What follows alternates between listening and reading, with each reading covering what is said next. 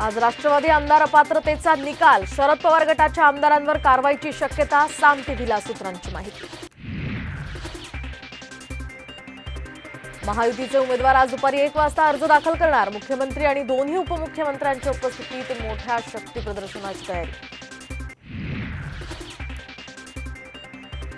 राज्यसभेच्या सहा जागांसाठी सहा उमेदवार. महायुतीकडून अशोक चव्हाण मेधा कुलकर्णी गोपछडे देवरा आणि पटेल तर महाविकास आघाडीकडून चंद्रकांत हंडोरेंना उमेदवारी.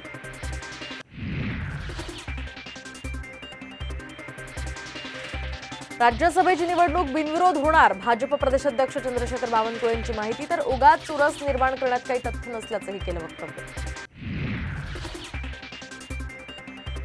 मराठा आरक्षणासाठी वीस फेब्रुवारीला विशेष अधिवेशन. मराठा आरक्षणाच्या विधेयकाचं कायद्यात रूपांतर होणार तर जरांगेंची प्रकृती खालवल्यानं चिंता वाढली